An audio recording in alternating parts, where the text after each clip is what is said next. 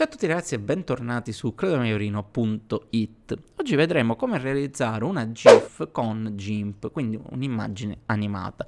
Inizialmente vi farò un esempio banalissimo con un conto alla rovescia e poi vi farò vedere uh, una GIF creata con delle immagini. Allora, andiamo ad aprire subito il necessario, facciamo file, apri come livelli, molto importante, e andiamo nella cartelletta GIF che avevo preparato poco fa. Ho realizzato questi quadrati da 500 pixel con dei numeri, come vedete 1, 2, 3, 4 e 5, che ci serviranno appunto allo scopo del conto alla rovescia. Andiamo a selezionare il primo con un clic, teniamo premuto Shift sulla tastiera e facciamo clic sull'ultimo file in questo modo, così li selezioniamo tutti. Facciamo apri e GIMP li andrà a importare uno dietro l'altro. Per realizzare il conto alla rovescia dobbiamo mettere i numeri invertiti, quindi eh, dobbiamo salire il primo livello, teniamo premuto con il tasto sinistro e lo saliamo in cima. E così via per gli altri numeri, 1, 2, 3, 4 e 5, così sarà un conto alla rovescia, diversamente partiva da 1 fino a 5, perché GIMP ragiona al contrario, quindi questa è la prima clip, il 5, e poi va a salire come animazione. Ora, dai eh, filtri abbiamo la possibilità tramite il menu animazione di fare esecuzione per vedere appunto una piccola anteprima della nostra GIF. Qua lui ragiona però come velocità in per e poi dagli FPS. Per esempio mettiamo 0.25, facciamo clic su play e vediamo una piccola anteprima. Questo ci serve semplicemente per regolarci mentre stiamo lavorando. Una volta che abbiamo terminato, quindi siamo sicuri del nostro risultato finale, facciamo file, esporta come, sempre qua dentro mettiamo come, eh, come nome mettiamo eh, conto.gif,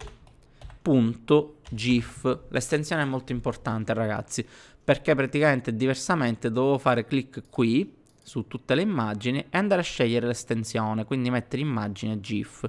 Però una volta che scegliamo tutte le immagini, che solitamente è quello, mettendo punto .gif gli andiamo a dire a GIMP che stiamo salvando appunto un file GIF. Facciamo clic su esporta e ci si aprirà questo piccolo sottomenu dove andiamo a gestire appunto la nostra immagine GIF. Come vedete eh, qui c'è commento GIF, potrei commentare eh, appunto il file mettendo creato con GIMP, ma è del tutto indifferente. Le due impostazioni importanti, anzi le tre, sono queste. Come animazione deve essere spuntato e ciclo perenne, in modo tale che il file GIF va in loop e si riproduce sempre di continuo. Ritardo tra quadri ove non specificato è molto importante perché è la velocità della nostra animazione. Più alto è questo valore in millisecondi, più lenta sarà la nostra animazione. In questo caso 800 eh, diciamo che va bene, possiamo fare anche con un ritardo di 600, tanto eh, per vedere il conto alla rovescia. Usa il ritardo inserito sopra per tutti i quadri, quindi per tutti i livelli andrà a utilizzare questo ritardo. Facciamo clic su esporta e GIMP già ha creato la nostra GIF, quindi la nostra animazione. Andiamo all'interno della cartella GIF e apriamo conto.gif. Come vedete abbiamo realizzato la nostra animazione in eh, due secondi praticamente con GIMP. Ora vi faccio vedere un altro esempio con delle immagini, tanto per farvi capire che eh, sostanzialmente potete farlo con qualsiasi tipo di immagine. Allora chiudiamo questo, CTRL W, abbandona. Stavolta facciamo apri, cioè file, apri come livelli, come poco fa, e selezioniamo dalla scrivania queste immagini. Eh, quindi in questo caso tengo premuto CTRL e faccio clic sulle altre immagini, visto che non sono una dietro l'altra. Facciamo apri e questa volta appunto abbiamo quattro immagini, belle grandi, perché sono da 1680 x 1050. Anche qui potrei decidere di partire con la spiaggia, poi mettere sunset e così via. Insomma l'ordine come poco fa, non cambia nulla.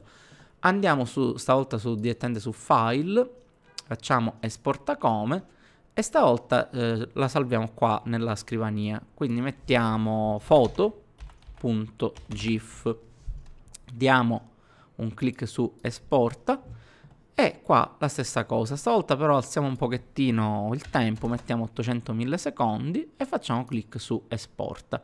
Ovviamente ci sarà un poco di più perché l'immagine è un pochettino più pesante e andiamo a aprire la nostra immagine. Come vedete ovviamente viene ottimizzata perché eh, con eh, il formato GIF si perdono colori e qualità e abbiamo appunto la nostra immagine.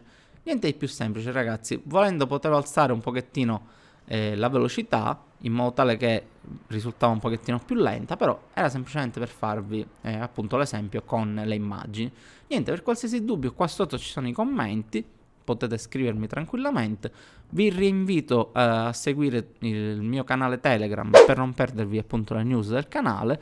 Comunque al termine di questo video, come sempre, troverete appunto l'immagine con eh, i vari social e poi sulla destra del sito c'è sempre il widget con i miei link social. Va bene ragazzi, io vi saluto e ci vediamo sempre su claudiomaiorino.it